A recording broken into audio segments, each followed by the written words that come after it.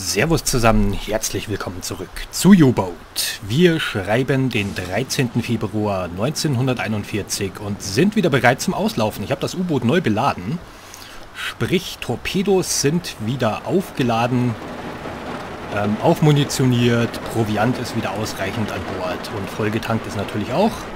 Ziemliches Sauwetter, ich würde sagen, wir gehen auch direkt auf Feindfahrt. Ich habe natürlich auch einen Auftrag angenommen, und zwar, ihr seht das rechts oben, wir sollen wieder ein Operationsgebiet erreichen und dort dann 2250 Kilometer patrouillieren.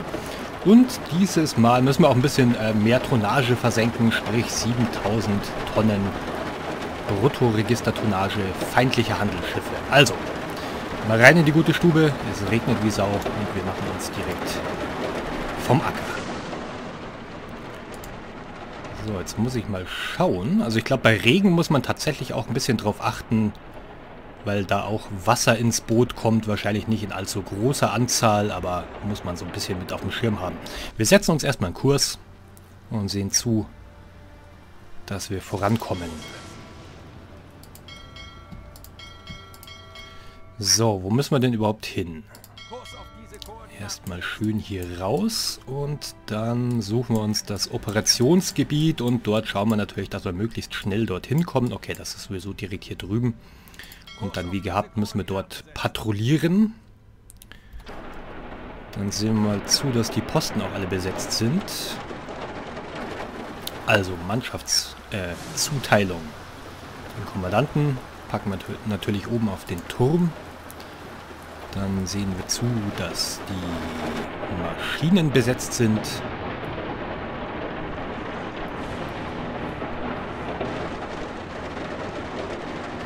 So, ähm, Öldorp ist, glaube ich, der leitende Ingenieur. Genau. Der Kollege Wächter, das, der ist für die Torpedos zuständig. Hagenau, das ist der Bootsmann. Das wurde mir auch in den Kommentaren geschrieben, dass es auf jeden Fall auch Sinn macht, jemanden an den Kartentisch zu packen. Deswegen machen wir das mal. Und das müsste dann auch schon so weit ausreichend sein. Gut, können wir Gas geben. Maschinentelegraph, langsame Fahrt, Kurs ist gesetzt. Und wir stechen in See. Extrem dunkel ist es dafür, dass es gerade noch früher Nachmittag ist. 14 Uhr. Also richtiges Sauwetter haben wir hier gerade am Start. Das sieht schon mal nicht so gut aus. Na ja, gut, das passt schon. Das ist halt mit der mit der Kursfindung immer so ein bisschen bisschen schwierig. Da hätte ich hier noch ein bisschen präziser arbeiten sollen. Machen wir mal so. So ist besser.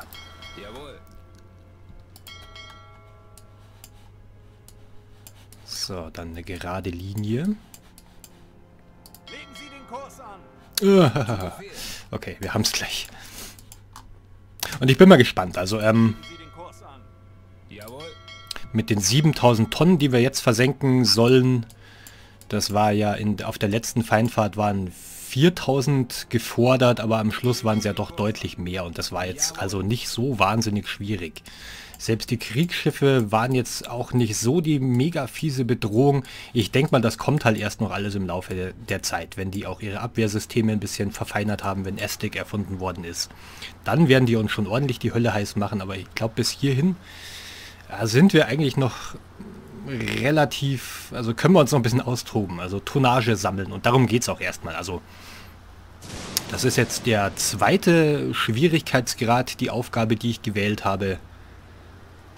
Aber mehr muss auch erstmal nicht sein, ehrlich gesagt. Also diese Spionagemissionen mit dem höchsten Schwierigkeitsgrad, weiß ich nicht, ob ich, also werde ich sicherlich auch irgendwann machen, aber erstmal geht es darum, Feindfahrten, Tonnage sammeln und vor allen Dingen halt Ansehenspunkte sammeln. Ich habe für die erste Feindfahrt, glaube ich, 33% bekommen und die hier soll mir jetzt, wenn ich das erfolgreich abschließe, 66% bringen. Also dann sind wir schon also mit ganz viel Glück haben wir dann vielleicht einen Ansehenspunkt und können damit schon irgendwas anfangen. Worauf ich hinarbeiten möchte, ist auf jeden Fall einen weiteren Offizier zu bekommen. Das ist, glaube ich, erstrebenswert. So mal fürs Erste. Und dann schauen wir mal, was wir sonst noch so machen können. Ich habe mir das auch ein bisschen angesehen. Ähm, also noch eins nebenbei bemerkt, ich habe die Mannschaft jetzt noch nicht auf Landurlaub geschickt für 14 Tage. Ich glaube, das ist nach der ersten Fahrt noch nicht notwendig. Das wird wahrscheinlich noch irgendwann ein Faktor werden. Und ansonsten, wie gesagt, geht es erstmal darum, Tonnage, Punkte machen, Ansehen gewinnen, damit ich halt irgendwie handlungsfähig bin und irgendwie, also wie gesagt, eben nochmal einen weiteren Offiziersplatz freischalten und dann auch irgendwie mal ein bisschen Forschung betreiben, wäre natürlich auch erstrebenswert, aber auch dafür braucht man halt, man muss halt einen Offizier abstellen. Das ist halt ein bisschen problematisch für einen gewissen Zeitraum. Ich glaube, der ist dann schon ein, zwei Wochen ist der einfach weg.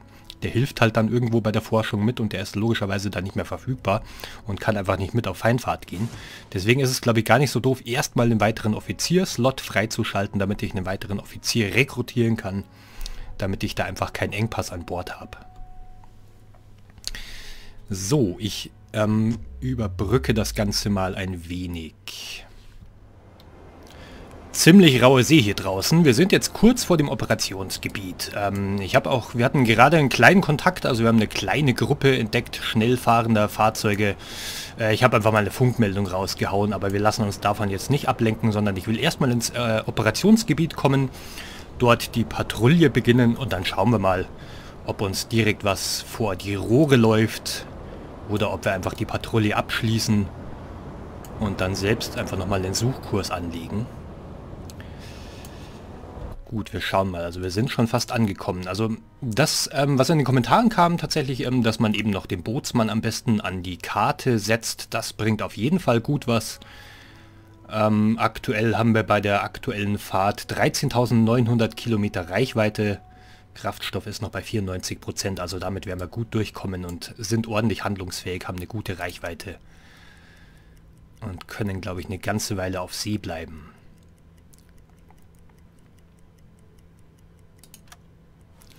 So, dann setzen wir hier mal so einen kleinen Suchkurs an. Hat mich im Übrigen natürlich auch sehr gefreut, äh, die doch relativ oder ziemlich große Aufmerksamkeit, die die ersten zwei Videos bekommen haben und der ganze, also viele, viele positive Kommentare, viele Daumen nach oben. Ähm, sehr coole Sache. Gute Leute muss man haben. Gute Leute. Und es wird natürlich, also es kommen natürlich regelmäßig Feindfahrten. Es ist halt ein bisschen schwieriger zu organisieren, sage ich mal, als andere Dinge. Ich brauche einfach relativ viel Zeit einfach am Stück, weil ich will dann auch jedes Mal halt Contentstreifen. Das ist aber nicht gut. Das sind das Flugzeuge, sehe ich das richtig? Okay, wir senden mal einen Bericht raus.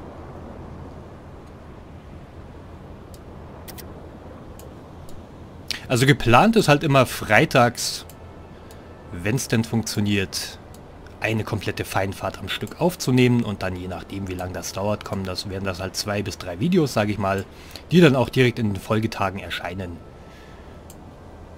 Jeden Tag ein Video ohne große Abstände dazwischen. So, Flieger hatten wir sowieso noch nicht. Und ehrlich gesagt, also gegen Flieger sind wir halt auch relativ machtlos. Wir haben zwar diese winzige Flak hier hinten drauf, aber das ist ja auch mehr ich sag mal, fürs subjektive Sicherheitsgefühl. Also wirklich ausrichten, glaube ich, können wir damit nichts. Also vielleicht einen Aufklärer kann man damit mal unter Feuer nehmen, aber wenn die bewaffnet sind, dann gilt es eigentlich sofort abzutauchen. Also Kondensstreifen, das würde ich halt jetzt mal als Flugzeug bewerten. Was soll auch sonst ein Kondensstreifen machen? Kleine Gruppe, oh, der kommt auf uns zu. Wir... Ach du Scheiße. Sofort tauchen. Auf Zero-Tiefe gehen. Wo sind wir denn eigentlich? Wir sind halt schon relativ nah an der Insel, oder? Ja klar, das ist halt dann Tommy. Und selbst wenn das jetzt nur ein Aufklärer ist, der uns vielleicht noch nicht angreifen kann, aber der kann natürlich, wenn der uns entdeckt, dann funkt der und dann schicken die ihre Kriegsschiffe los. Also mit bloßem Auge ist hier noch nichts zu erkennen. Deswegen hoffe ich mal, werden, werden die uns auch noch nicht gesehen haben.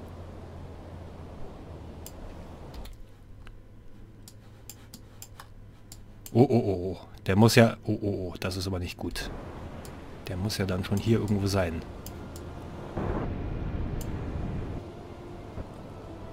Okay, wir tauchen ab.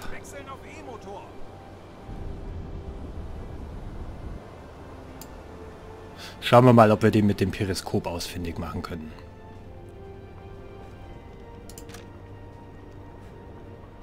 So, Kapitän hat sich natürlich wieder schlafen gelegt. Immer dann, wenn es interessant wird. Wir gehen auf Seerohrtiefe, weil ein Flugzeug unterwegs ist. Oh, die... Ah, das ist wahrscheinlich noch wegen dem ganzen Regen hier. Und jetzt rufen sie Alarm aus. Okay, ähm, ein bisschen orientieren. Der Wächter pennt, den schicke ich aber mal hier schnell an die Lenzpumpe. Der soll mir hier mal die 4,3 Kubikmeter Wasser rauspumpen. Kapitän, bitte aufstehen und äh, in den Turm gehen. Na. Bisschen, bisschen gewöhnungsbedürftig noch so die Steuerung. Ich schicke den auf jeden Fall mir mal hier ans Angriffsperiskop. Wir sind aber schon auf Zero-Tiefe, oder? Oh, was passiert da? Werden wir beschossen? Moment mal, Moment mal, Moment mal. Scheiße, da ist er. Was haben wir denn hier? Flugzeug. Nicht weiter identifiziert, aber... Ja, der schießt. Wir gehen runter. Auf 95 Meter gehen. Ach du. Oh, oh, oh, oh, oh. Klingt da irgendwas aus? Das kann halt jetzt ganz schnell vorbei sein. Ach du Scheiße, Bomben. Fuck. Ach du grüne Neune. Schnell auf Tiefe gehen, schnell auf Tiefe. Ach du Scheiße, und irgendein Seemann hat's erwischt. Das geht ja gut los. Bevor wir das Zielgebiet erreicht haben. So, er ist im kritischen Zustand und da läuft auch so ein Timer. Was machen wir jetzt mit dem? Ich habe halt keinen Arzt an Bord in dem Sinne, also keinen kein zugewiesenen Arzt. Ich würde mal versuchen, mit dem Kommandanten da irgendwas zu veranstalten. Schauen wir mal, können wir da irgendwas machen? So, Ruhepause. Ruhepause, ich glaub's echt nicht. Also das könnten sie aber mal irgendwie ein bisschen patchen, die ganze Geschichte. Frage Schadensmeldung. Ist nichts reingekommen, ne? So, den können wir jetzt erste Hilfe leisten, theoretisch. Ah, ich brauche natürlich, ich muss mir erstmal einen Erste-Hilfe-Kasten holen. Also es wird schon direkt ungemütlich. Ähm, Scheißhaus machen wir mal zu hier. Kann ja nicht sein. Disziplin, Leute! So, ich muss zum Hauptlager. Lenzpumpe machen wir aus, keinen Lärm verursachen, wobei, ja, ich weiß nicht, ob das bei Fliegern Relevanz hat. Ähm, gut, die haben irgendeinen Schaden hat es also doch gegeben, aber es hat ja einige Leute erwischt. Verdammte Scheiße. So, wir packen mal ein paar Verbandskästen hier ein und leisten mal erste Hilfe. Moment mal. Hm, ja, ich glaube, es sind doch nur die, die beiden Seemänner da vorne.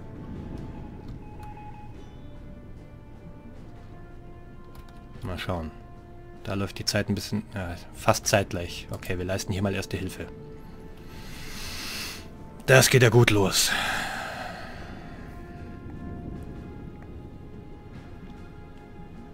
Wo bleiben denn unsere Seeaufklärer, Herr Göring?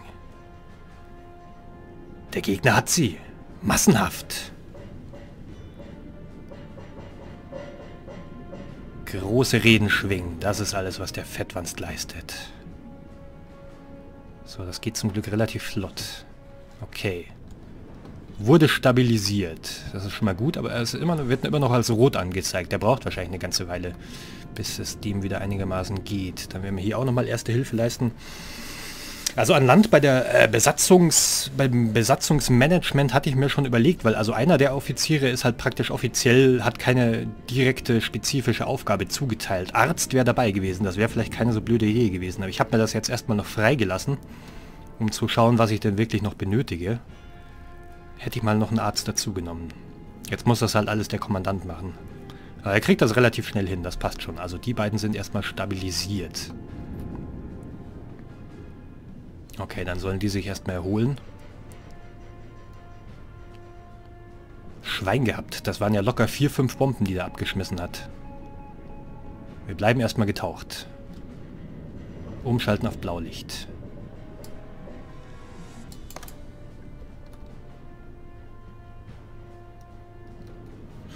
Ähm, sauerstoffmäßig 92 Prozent. Mhm. Ah, für die Moral, genau, das wollte ich auch noch machen. Wo wir gerade hier bei der Kombüse sind. Schmeißen wir noch ein paar Sachen hier rein, damit die ein bisschen Abwechslung haben bei der, bei der Küche. Getrockneter Fisch, paar Würstchen noch dazu. Sollte die Moral auch ein bisschen hochhalten. So. Taschenlampe an. Die wunderbare Dieselmaschine.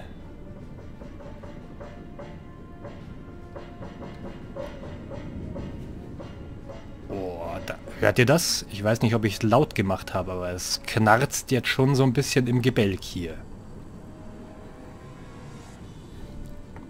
Wir sollten wieder ein bisschen höher gehen, glaube ich.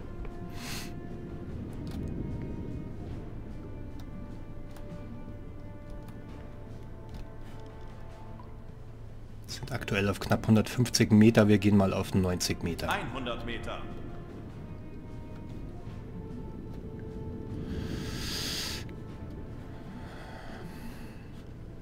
Ja, wir sind halt hier unten.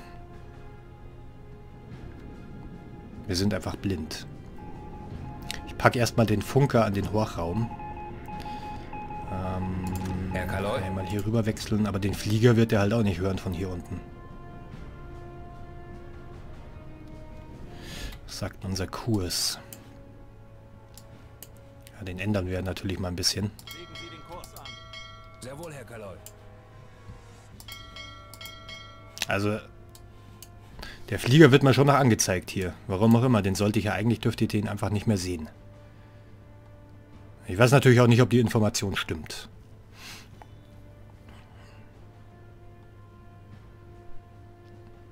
Natürlich gut möglich, dass der jetzt schon längst... Also, ich bin mir sogar absolut sicher, dass der gefunkt hat. Wäre schön blöd, wenn nicht. Könnte ungemütlich werden. Wie spät haben wir es eigentlich? 13.30 ja, ist auch ein bisschen ungünstig. Schraubengeräusch, große Gruppe. Das schauen wir uns natürlich an. Auch wenn die jetzt natürlich alarmiert sein sollten, also...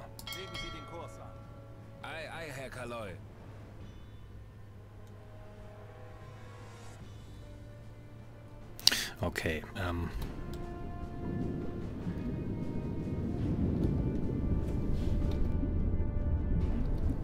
Also Schäden haben wir zwar genommen, aber die wurden ja sofort auch praktisch automatisch repariert. Ansonsten wird hier nichts angezeigt. Also das sieht ganz gut aus, soweit. Hm, sollte ich vielleicht Ah, wir haben kein Altmetall im Lager. Ich habe gerade überlegt, ob ich vielleicht noch ein paar ähm, Ersatzteile produzieren lassen sollte. Das kann man ja auch unterwegs machen. Ähm, schauen wir mal ins Hauptlager, wie viel davon noch da ist. Komme ich von hier ans Hauptlager? Ach so, das ist nur dieser Schrank. Wir machen das gerade mal manuell hier. Aufstehen! Herr Kaloi.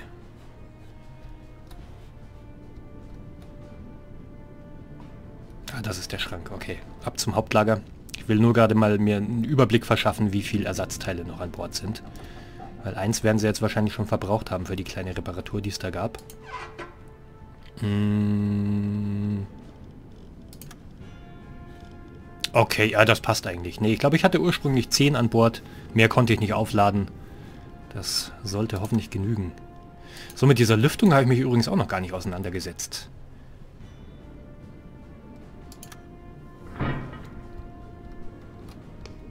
Wo war denn die? Hier ist die Lüftung, ne? Ventilation einschalten. Okay, das wird wahrscheinlich... Könnte mir die Tauchzeit erhöhen, vermute ich mal. Wir sind jetzt bei 87 Prozent.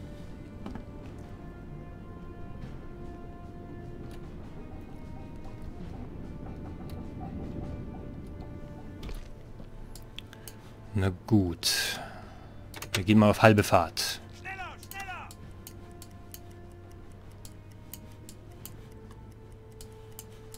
Ah, das sind doch, das sind doch einige Kilometer. Uh. Oh, oh, oh, oh. Nee, nee, nee, nee, nee, Freunde. Kleine Gruppe 1 bis 3, ich würde mal vermuten, das sind Kriegsschiffe. Ja, die sind halt jetzt echt aufgeschreckt.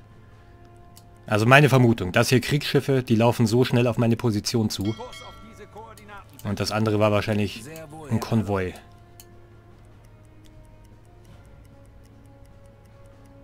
Die laufen genau auf meine Position zu. Legen Sie den Kurs an. Sehr wohl, Herr Kaloi. Scheiße, die... Ach du Scheiße, die Batteriekapazität. Oh Gott, oh Gott. Moment. Ja, die E-Motoren halt. Ah, ich habe keine zusätzlichen Männer an den E-Motoren. Das ist, war natürlich auch wieder ein massiver Fehler. Wir gehen mal auf Seerohrtiefe. Wir müssen dringend auftauchen. Wir müssen die Batterien laden. Ach du Scheiße. Ja, ich habe halt auch keine Geräte ausgeschalten. Das war natürlich auch außerordentlich dumm von mir.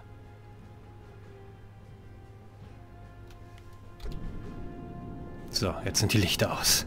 Ja, großartig. Jetzt sind die Batterien leer, aber wir können ja trotzdem hoffentlich auftauchen. Wenn wir anblasen können, können wir auftauchen. Wir brauchen jetzt keine E-Maschinen dazu. Behaupte ich jetzt einfach mal. Sonst sieht es echt mies aus. Die erste Feindfahrt ist so gut gelaufen. Ja, wir tauchen schon auf. Wir müssen, wir müssen einfach ganz hoch. Das hilft alles nichts. Blick auf die Karte. Miese Nummer, aber wir haben es mittlerweile 3.30 Uhr, mitten in der Nacht. Also wir müssen es einfach riskieren, auftauchen. Tanks anblasen! Das war schon auch nett gemacht hier mit der Taschenlampe.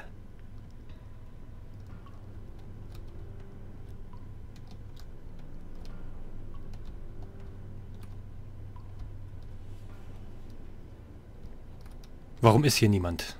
Hat er sich auch... Das ist mit diesem Schlafenlegen geht mir tierisch auf den Sack. Muss ich mal ganz ehrlich sagen. Ich brauche jetzt dringend den, den Typen am Horcher. Ich sehe halt null. Hier, da muss er hin. Ach so, Gerät ist ausgeschaltet. Natürlich, das Ding braucht ja auch Saft. Oh Gott.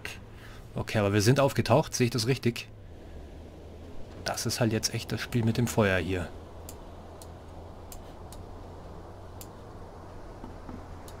Ach, und die Flagge wollte ich eigentlich beim Tauchen einholen. ja, ich weiß. Kam auch in den Kommentaren.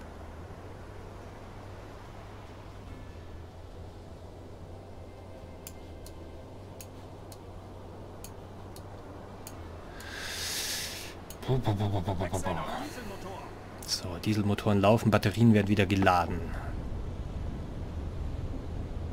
Ist der jetzt schon ganz aufgetaucht? Ja, er ist halt wirklich unruhige See hier draußen. So, Herr Kommandant. Es ist doch ein Elend.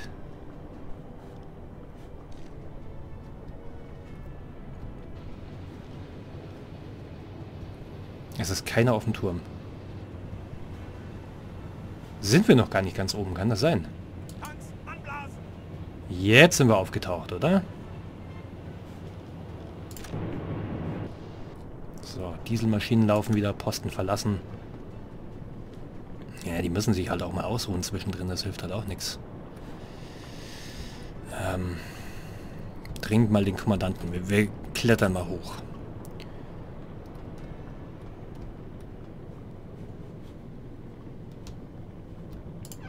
Turmlog ist offen. Ich kann nicht hochklettern, warum? Außendruck 1 Bar? Turmlog... Ah, was ist denn da los?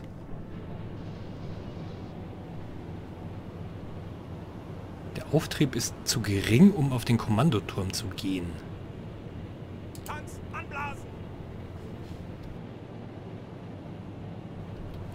Das Auftauchen klappt nicht so zu 100 Prozent.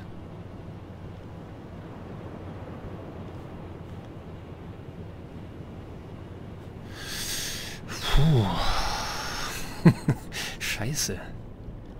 Okay. Ähm... Erstmal wecken wir den Kollegen auf. Hydrophon sollte wohl wieder funktionieren. Den setzen wir mal an seinen Posten. Batterien sind schon wieder ganz gut geladen. Ähm, dann machen wir mal folgendes. Wir schnappen uns mal den hier.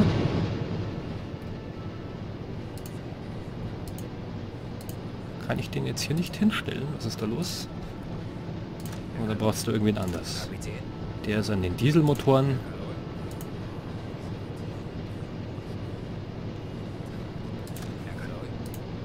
Ja doch, ich glaube, der braucht einfach einen Moment, bis der hier hinterkommt, oder? Ja, wir müssen die Drucklufttanks wieder äh, voll.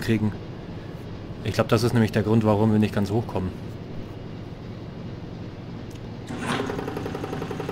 Sehr gut.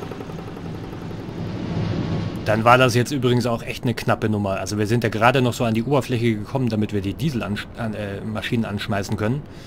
Wenn jetzt die Batterie komplett leer gewesen wäre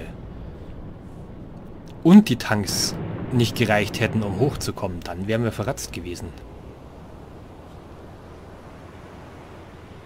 So, jetzt müssten wir gleich auftauchen können. Was sagt das Hydrophon? Keine, keine Peilung. Das ist schon mal gut. Legen Sie den Kurs an. Ei, ei, Herr Kaloy. Legen Sie den Kurs an. Also merke, Jawohl. bei Fliegerkontakt sofort abtauchen.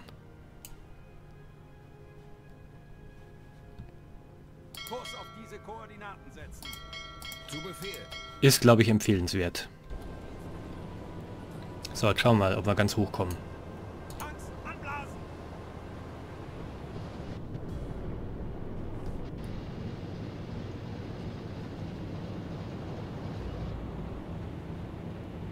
Hm. Das ist immer noch extrem unbefriedigend.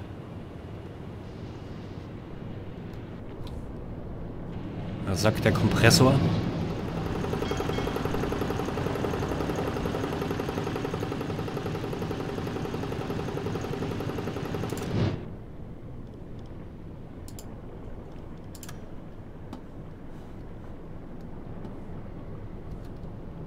Mann, Mann, Mann. Der Dienst in der Marine hat Tradition in meiner Familie. Schön.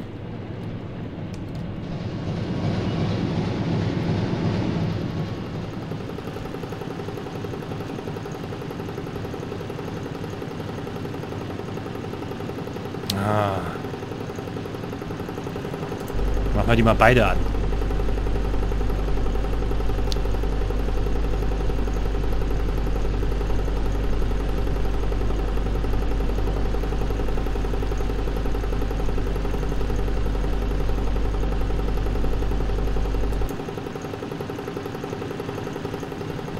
Ja, 50 Bar fehlen noch. Bis das Ding wieder ganz gefüllt ist.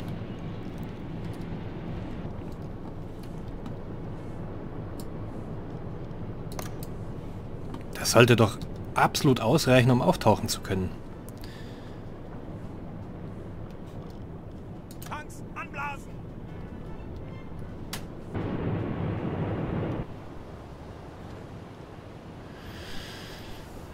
Hm, hm.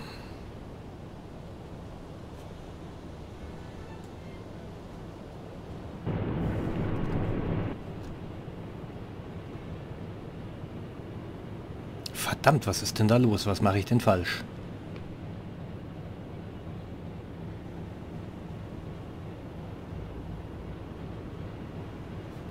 Wir haben kein Wasser im Boot.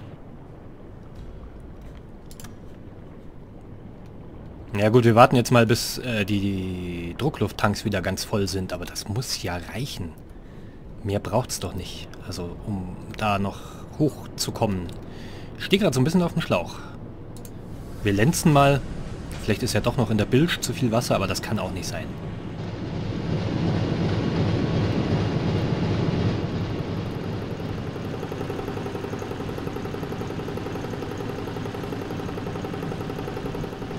Das muss reichen. Ja, läuft. Läuft bei mir. Muss ich schon sagen.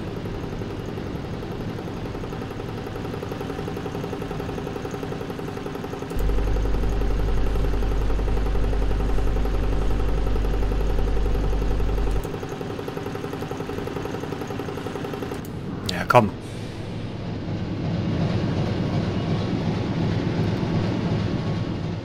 Knapp 230 Bar haben wir jetzt drin. Also vielleicht ist das ja auch irgendwie eine, äh, ja, so eine kleine Backgeschichte. Vielleicht gehen wir noch mal auf Seerohrtiefe. Auf Seerohrtiefe gehen. Und tauchen dann noch mal auf. Wer weiß, vielleicht bringt es ja was.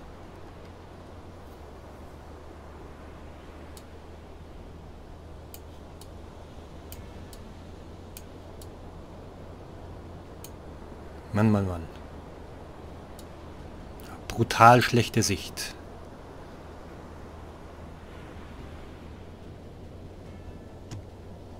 So, wir haben Kontakte.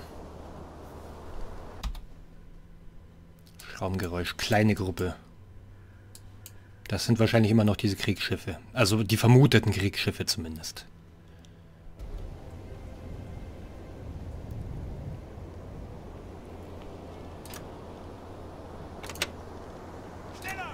So, ich versuch's nochmal mit Auftauchen jetzt.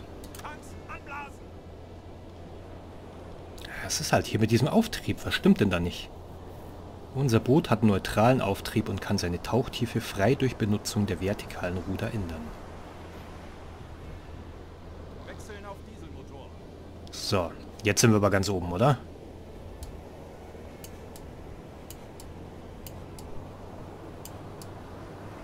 Sieht immer noch nicht so wirklich aus. Also hier steht zwar 0 Meter, aber wenn ihr euch den, den Tiefenmesser anschaut, den Zeiger, da stimmt doch was nicht.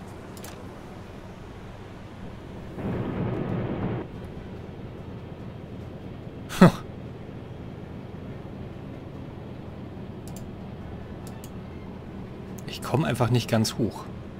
Ist doch irgendwas im Eimer.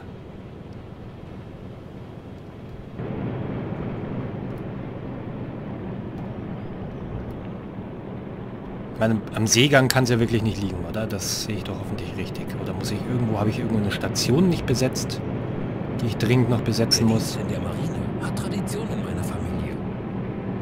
Eigentlich nicht. Kapitän?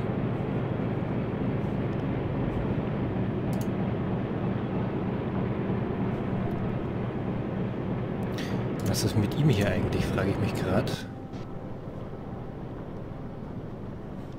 Das passt schon. Der ist einfach an der, an, hier am, am Dingsbums. ähm, an den Ventilen. Ballasttanks sind geflutet. Aber warum ist das in roter Schrift? Posten ist von Klaus Hagenau besetzt. Ja, er ist ja eigentlich fürs Auftauchen zuständig. Alle Ballasttanks sind geflutet. Die sollen aber nicht geflutet sein. Können wir mal gerade die Position übernehmen und die Tanks manuell anblasen. Jawohl. Schauen wir mal, vielleicht bringt das ja was.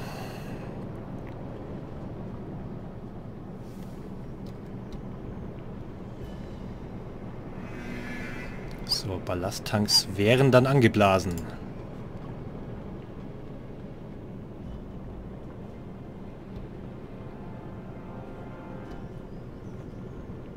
Okay. Luke geht auf. Jetzt funktioniert das. Warum? Das verstehe ich jetzt aber nicht so ganz, muss ich gestehen. Ähm, ist vielleicht der Hagenau, Moment mal, das ist ja auch, das ist auch ein Kommandant. Ist der einfach nicht geeignet, um den hier hinzusetzen? Das ist wirklich äußerst merkwürdig.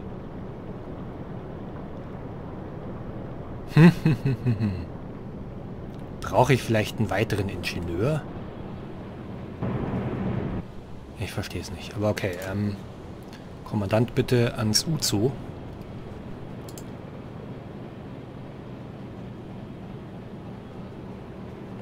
Oh. So. Okay, gut, dann sind wir wieder beieinander. Ähm, schauen, dass wir hier nicht den ganzen Sprit rausballern.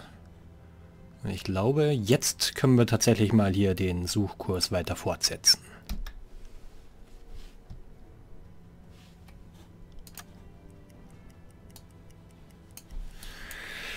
Mann, Mann, Mann, Mann, Mann. Was da schon wieder Zeit drauf gegangen ist jetzt. Unglaublich.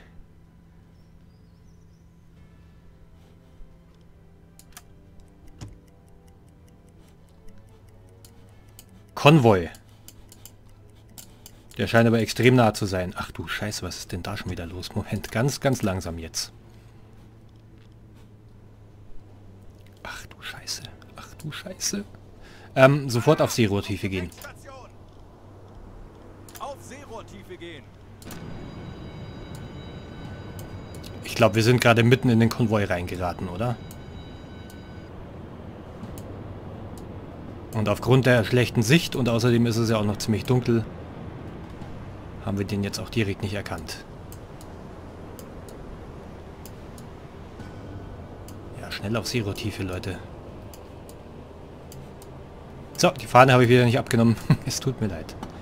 Muss ich vielleicht eine neue bestellen, wenn wir, wenn wir es überleben und jemals wieder nach La Rochelle zurückkommen. Okay, Sicht ist praktisch null. Das ist natürlich jetzt super ungünstig für einen Torpedoangriff. Aber wir haben hier schon zwei Ziele. In der Theorie zumindest. So, wie schaut's aus? Empire Light, Silesia. Ich glaube, wir sollten sowieso umdrehen. Wechseln auf E-Motor. Feindlicher Zerstörer auf. 12 Uhr. Zwar... Ach du Scheiße, wir sind ja mitten im Konvoi. Und wir fahren direkt auf den Zerstörer vor, zu. Beziehungsweise das ist eine Korvette, Zerstörer, Korvette, Korvette. Ach du grüne Neune. Jetzt aber mal ganz langsam hier. Schleichfahrt. Oh, oh, oh. Mir schwant Böses. Man hört schon die Schraubengeräusche. Herr Kaloy? So, wer ist denn gerade frei? Herr Kaloy?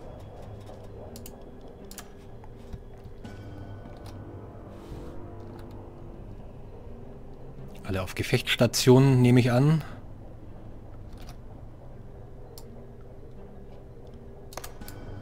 Einmal Blaulicht. Okay, Kreiselkompass ist aus. Lenzpumpe ist aus. Ich hoffe mal, dass jetzt aktuell die ganzen unnötigen Verbraucher aus sind. Ähm...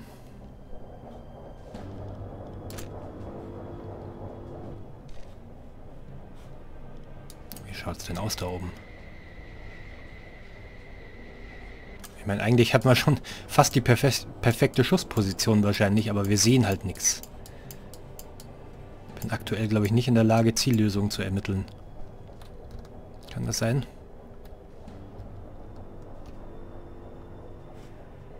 Frachter zeigt er mir hier an. Was haben wir hier?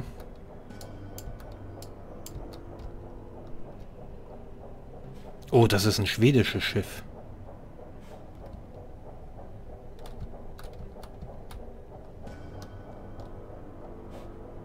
Flower-Klasse, das ist ein Kriegsschiff. Frachter. Mann, Mann, Mann. Ein Kilometer. Jetzt können wir einfach nur beten, dass die uns noch nicht entdeckt hat hier. Ach du Scheiße, ich würde sagen, er hat uns entdeckt. Die nehmen uns unter Beschuss. Sofort tauchen. 100 Meter.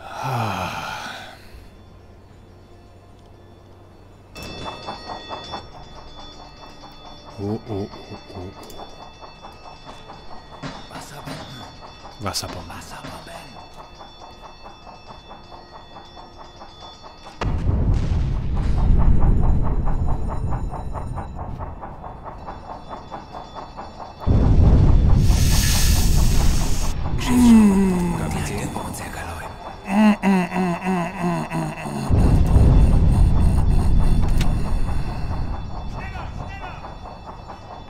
Mal voraus!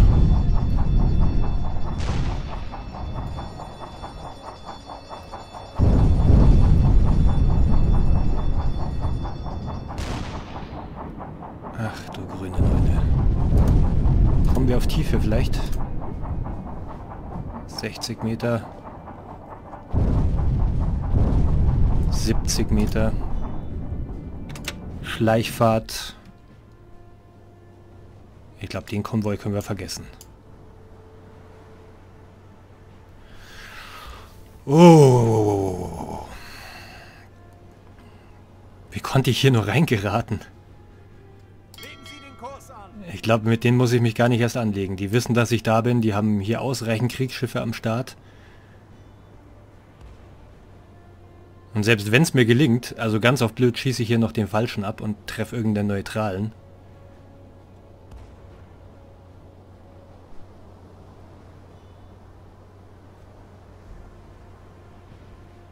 Üble Sache. Ganz, ganz üble Sache.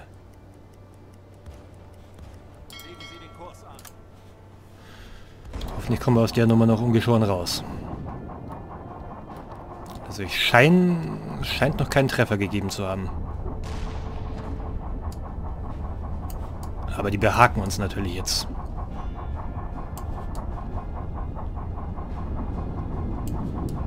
Boah, ich war echt guter Dinge, als wir los sind. Die letzte Feindfahrt, das war doch ein ziemlicher Spaziergang im Nachhinein. Aber jetzt, wir haben noch keinen einzigen Torpedo abgefeuert. Mussten zweimal tauchen und jetzt haben wir, glaube ich, gerade so richtig Ärger hier am Start.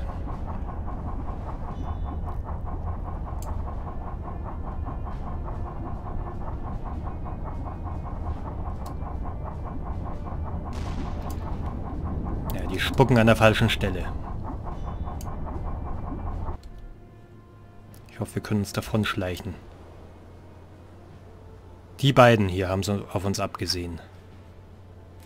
Wir gehen noch ein bisschen tiefer. 100 Meter. 120 Meter.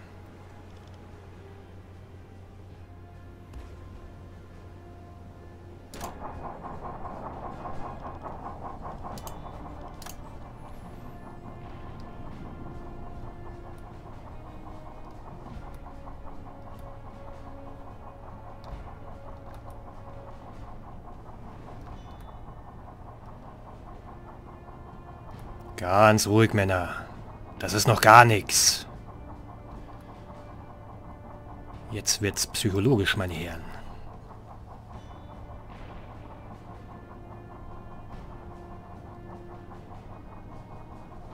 Ich lasse mich mal hinten blicken. Ich habe irgendwie so ein bisschen, ach, bisschen im Verdacht, dass irgendwo einer nicht das tut, was er tun sollte. Ja schon so ein paar Probleme. Wie schaut es denn eigentlich aus hier mit den Sauerstoffreserven? Er ist auch schon wieder ganz schön weit runtergegangen. Also mit den Drucklufttanks meine ich. 123 Bar. Aber jetzt hier einen Kompressor einschalten ist, glaube ich, keine gute Idee.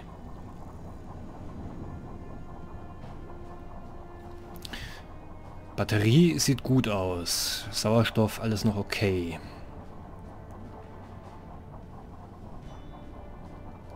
Uhrzeit 6.50 Uhr. Es wird wahrscheinlich bald hell, aber wenn sich das Wetter so hält, dann ist es zumindest sehr, sehr neblig.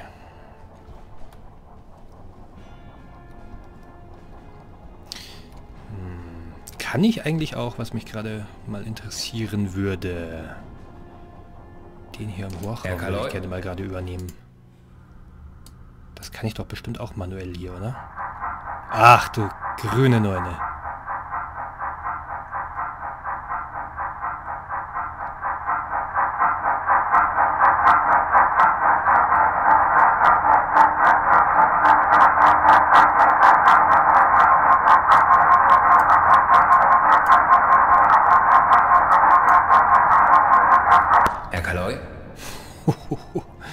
Bedrohlich.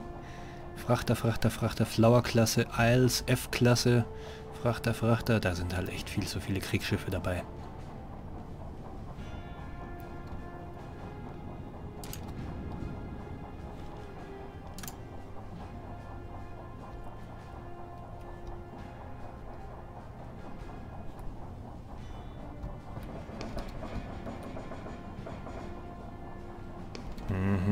Knistert schon wieder so ein bisschen im Gebälk. Haben sich die beiden Seemänner eigentlich mal erholt? Das waren doch die beiden hier, oder? Ich glaube, die sind wieder fit. Was will er? Konrad Otto? Er legt sich hin, okay. Ja, gut so. Ganz ruhig bleiben.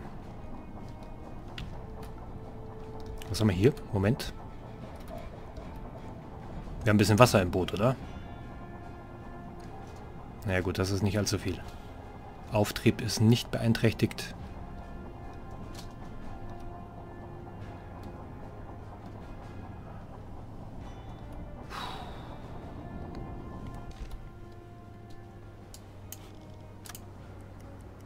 Naja, die suchen mich halt jetzt, ne? Drei Kriegsschiffe.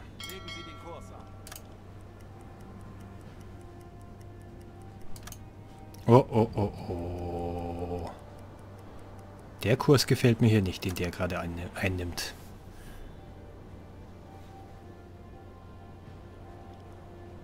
Batteriekapazität, alles noch gut. Sauerstoffgehalt gut. Alle Maschinen stopp.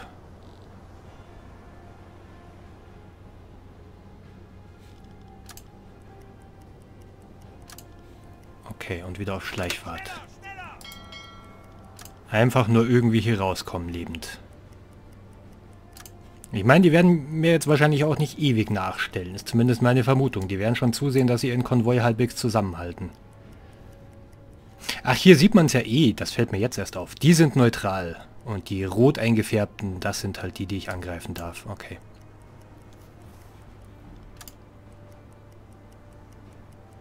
Ne, die anderen Kriegsschiffe haben schon wieder abgedreht und schließen sich wieder dem Konvoi an. Der dreht hier nochmal eine Runde.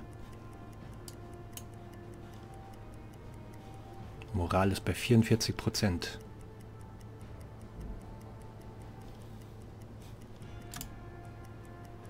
Leute, ich glaube, wir kommen raus aus der Nummer. Kann schon mal ein bisschen höher gehen. Direkt auf Zero-Tiefe, würde ich sagen.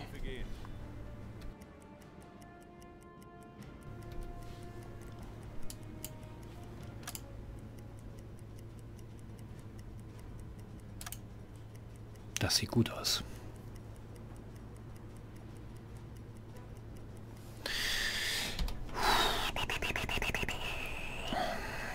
Okay, ich muss unbedingt was für die Moral tun. Ich denke, wir sollten auch dringend mal auftauchen.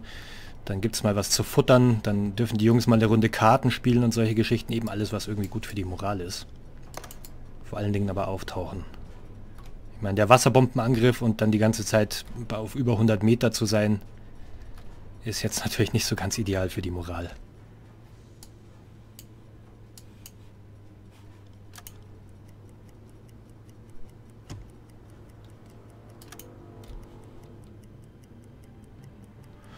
Okay, wie schaut's aus?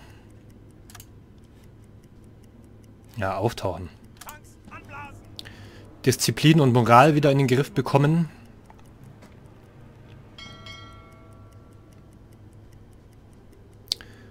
Mhm.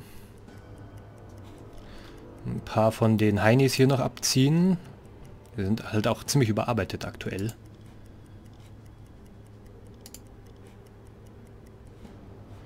Dann ähm, setzen wir den Typen aus dem Horchraum. Ich brauche eigentlich brauche ich einen zweiten Funker.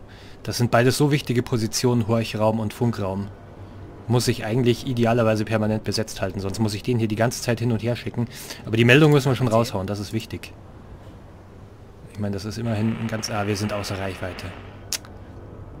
Aber wir kriegen trotzdem Funktelegramm vom BDU rein. Aber wir ausfunken. Okay, aber ich lasse den, ich schicke den wieder zum Räuchraum. Das ist jetzt aktuell einfach viel, viel wichtiger.